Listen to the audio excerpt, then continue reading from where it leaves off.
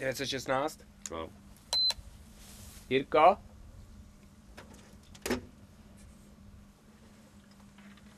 Dámy a pánové, sousedé na besedě, prolog. Stop. Stop. Jirko? Dámy a pánové, sousedé na besedě, prolog. Prolog. Stop. Nahlédněme na několik okamžiků do zákulisí natáčení filmu. Nebude to ovšem dnes oblíbený žánr, tedy takzvaný film o filmu, snažící se pro dílo přilákat další potenciální diváky. Spíš takové lehké proplutí jedním natáčecím dnem týden před svatým Václavem minulého roku. Dějiště, paseky nad Jizerou, konkrétně stará pasecká škola a okolí legendární hospody na Perličku, známější spíš pod názvem Na Prtku. A ačkoliv do svatého Václava zbýval onen uvedený týden, o svatováclavský chorál ochuzení nebudete. Podání pasečáků zazní v samotném konci. Pasečáků, skutečných pasečáků, o tom bude řeč později.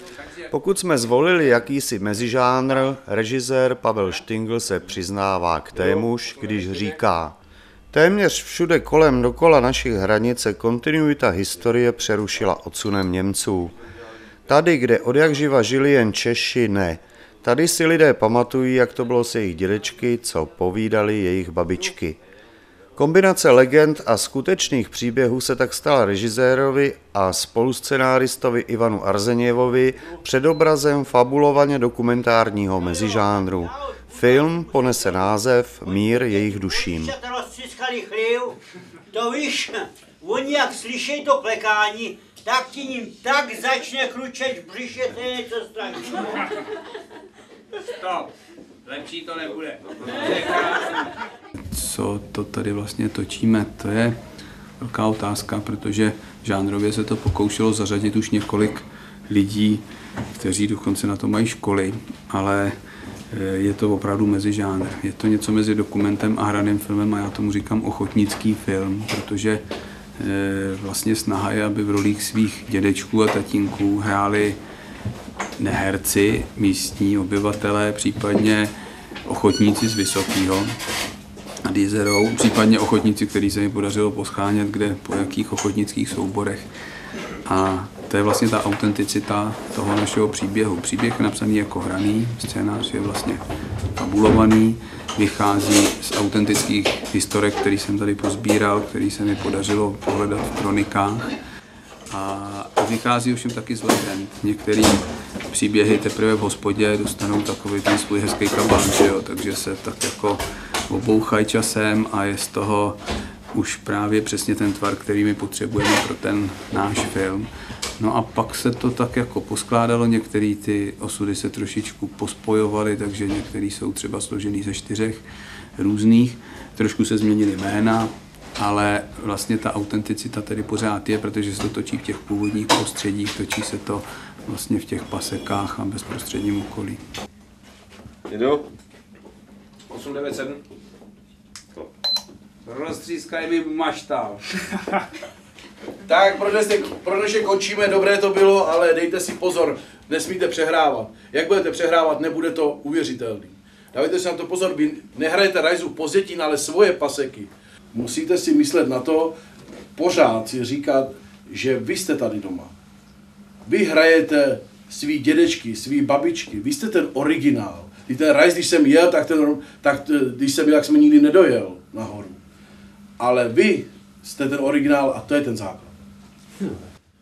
Tintili vantili, pane řídící, prdy prdy, když chceš hospodařit, to je základ. A základ je, když chceš hospodařit, tak musíš mít u baráku hnůj. Jinak si na to vyser. Prosím vás, my teďka vlastně tadyhle tu scénu jsme natočili, moc vám za ní děkuju, byla krásná. A nás teďka bude čekat eh, odpoledne před tím prtkem, kde máme udělaný takový pódiko a mm, večer vlastně tam bude ten oheň, eh, který je teda jenom na tu závěrečnou scénu s tím chorálem. Ale potřebovali bychom tam natočit jako zkoušku a ta zkouška má ten problém, že v tomhle světle, který je dneska, eh, je to strašně vošklivý, takže my bychom jí potřebovali všechny ty věci posunout co nejvíc do večera. Tak já bych vás poprosil, uděláme to tak, že Bára vám řekne pak časy, kdyby jsme se tam sešli, budou trošku později.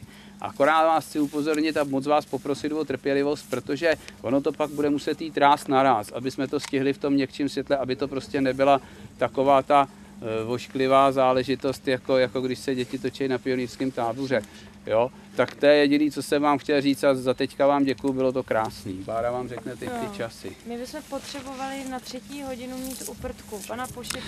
No tak ono vlastně se řekne, že skoro v každé pesničce jsou nějaký ty legendy a všude by se dal natočit film a skoro je to i pravda, ale vlastně ty paseky mají několik eh, velkých zvláštností. Jednak je to uprostřed Sudet nebo v tom prstenci Sudet, ale nemá to přerušenou kontinuitu. Tady prostě nežili Němci, takže nebylo koho odsunout a ty lidi, co tady zbyli, tak si teda pamatujou ty svý všechny rodinné historie a pamatujou si samozřejmě až ty po toho Rajse, že jo? protože Rajs to prostě obsal od Metelky a Metelka měl ty svý příbuzný a ty jsou tady legitimní zase příbuzný některých jiných lidí a všechno, co se tam píše, jsou místní lidi.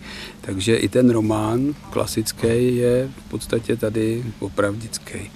A pak ještě ty paseky mají taky lidi, kteří jsou na ty svý chaloupky hrozně hrdí a strašně si toho vážej a jsou ochotní i proto třeba postoupit něco tak strašného jako natáčení filmu. Takže mě to vlastně se tak sešlo. Loni jsme tady sehráli pokusně ochotnický divadlo, jak jinak než zapadlý vlastence. Takže jsme si to nastudovali v takovém novodobém provedení a ty lidi hráli úplně senzačně. Úplně úžasný, prostě Hrobníkovi jsem napsal roli Hrobníka a lidi se mohli uchechtat a tak jsme si vlastně zkusili, jestli se dají rozvázat, jestli se s nima dá vlastně zahrát nějakou tu roli, no a pak vlastně je to na mě, nevím, jestli se mi to povede, abych tu roli napsal právě takovou, jakou dokážou, jakou zvládnou. No a kromě toho samozřejmě tady hrozně zní hudba. To není jenom kvůli tomu, že Metelka byl houslář a že tady byli slavní muzikanti a opravdu uměli asi pravděpodobně hrát moc dobře, eh, tak je to ohromně moc muzická oblast. Tak myslím, že i ta hudba pro mě tam bude hrát jako veliký význam a s hudbou jsem vlastně ty paseky trošku objevil, protože jsem tady byl někdy jistě na běžkách a z běžek ještě pamatuju tu starou hlouškou nahoře na tom prdku takzvaným, neboli teda na perlíčku správně řečeno, tak eh, tady byly vždycky ty pasecké slavnosti, už co já pamatuju, teď je to nevím, 12. ročník, 13. A sem chodí prostě s radostí hrát lidi, kteří jinak jsou koncertní mistři. Že jo? Nám loni na divadle hrálo prostě několik koncertních mistrů pod Lipou a jeli šumařinky a k bálům a ty místní jim na to tancovali a všichni si to strašně užívali. Takže i takhle nějak jsem já vlastně ty paseky objevil, že jsem sem přijel za někým, za něčím takovým jako velikánským, to je ta hudba, řekněme. Ono, to velikánský začíná u toho úplně obyčejného a malého. Jedem! Vítám tě, bratříčku. Vítám tě. Pozdrav pámu. Tak, pojďme. Tak co, bratříčku? Taky z kantorské rodiny? Taky, taky. Dědeček byl kantorem až do smrti. Před šesti neděli. Před šesti nedělemi jsme ho pochovali. I kata. Děti, zůstalo hodně dětí. Jen já s babičkou jsme tam zůstali. A co pak rodičové? Jsem sirotek už, už od mala. I kata, i kata. No.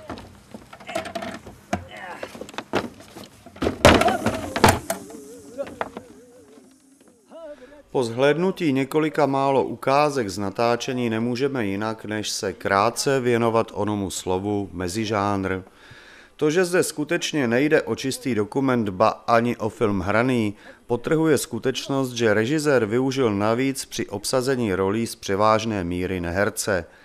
A tak legendární hostinskou sprtku hraje třeba poštovní doručovatelka ze Zlaté Olešnice, Regenschoryho učitel Stanvaldu. Vysočtí ochotníci zde můžeme spekulovat, zda herci či neherci neúčinkují ve filmu poprvé. Jmenujme alespoň Julci Nesvadbovou či Jiřího Pošepného. A pokud se již ve filmu profesionální herec objevil, pak režisér praví, že jej náležitě strestal. Citujme Pavla Štingla. Lidé s profesionální výbavou škol na světová dramata se nemají vystavovat tak opravdovému světu, jako je Rajzův Pozdětín. Jsou zvyklí na fabulované role a mají velké problémy mezi osobami, které znají jen jednu hereckou polahu a to je ta jejich vlastní. Za největší problém v práci s neherci ovšem režisér označil agrotechnické lhůty. Během natáčení se sušilo seno, proběhly žně, někdy se telila kráva a pokud bylo třeba ještě něco dotočit v zimě, herci se mu proměnili v podnikatele v zimních sportech. Penziony a vleky musí přeci v době sezóny běžet na plné obrátky. A to jsme již na perličku, na prdku či na prdečku a nabízí se opět ona laická otázka. Kolik lidí se kolem toho filmu motá? I ten, dá se říci, nízkorozpočtový, ovšem potřebuje nejen svého kameramana, jeho asistenta, ale i maskéra, kostyméra, výtvarníka, rekvizitáře, osvětlovače. A to je jen několik profesí základně nutných. Možná náhoda či štěstí chtěli tomu, že jsme v jednom dni stihli něco, co se ve filmu objeví v jeho začátku a pak v samotném konci. Navíc sezveli se takové množství lidí k natočení jedné scény, je tu určité riziko.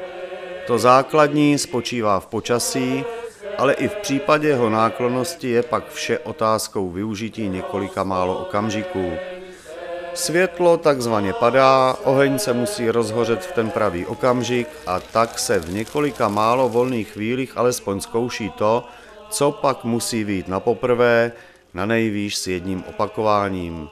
Více času není, i tak se vždy bude z pohledu režiséra jednat o nutný kompromis a následně vysezené hodiny ve střižně, které dají dílku definitivní podobu. Něco se uspůsobit dá, zbývající lze připočíst na vrub nenahraditelných ztrát. I zde platí, čas jsou peníze. A při natáčení filmu peníze přímo tečou. Co jste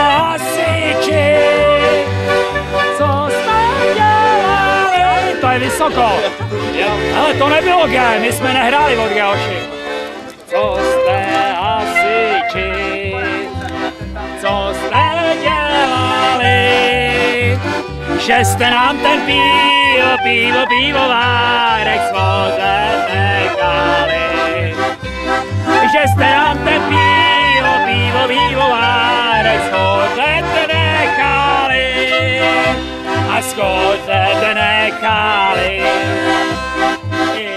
Já vlastně, ačkoliv jsem ten, kdo se pokouší konzervovat legendy, tak mě pořád pod prstama utíkají takový ty skvosty, který by člověk radši viděl, aby vydrželi na věky. A to je právě třeba tahle hospoda. Tady dneska možná jeden z posledních večírků na Prtku, hospodě, která 150 let tady neustále nabírá a tvoří sama legendy tak e, máme půjčenou na tohle natáčení, aby jsme natočili, co se dá z těch vzpomínek a pak to vrátíme a bohužel po smrti posledního hostinského to hledá novýho majitele a nevím, nevím, jestli to někdo ještě takhle rázovitě by chtěl provozovat.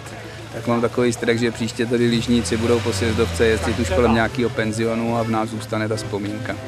Cestička je dlouhá a kde jaký les. Všechno se to na perličky krouhá. Vidím to před sebou jako... Paseckou rázovitou hospodu považuje režisér za univerzitu a hlásí se sám k absolvování zdejšího postgraduálu. Pasečáky považuje za ohrožený druh. Těch pravých, kteří jsou potomky Rajzova buditelského románu, zde již mnoho nenajdete a tak bylo nutno je doplnit o pseudopasečáky. V okolí se jich našlo dost. Když Rice psal své zapadlé vlastence, do pasek ve skutečnosti nikdy nedorazil. Metelkovi zápisky našel kdesi v hospodě v Podhůří a dokázal z nich stvořit jeden z pilířů obrozenecké literatury. Co si zůstalo navěky zachováno a totéž můžeme bez nadsázky konstatovat i o Štinglově filmu. Čas běží a to nezapsané či nenatočené mizí neodvratně v propadlišti dějin. Nechť veleben je ten, kdo po sobě zanechal alespoň stopu. Platí to i o filmu Mír jejich duším.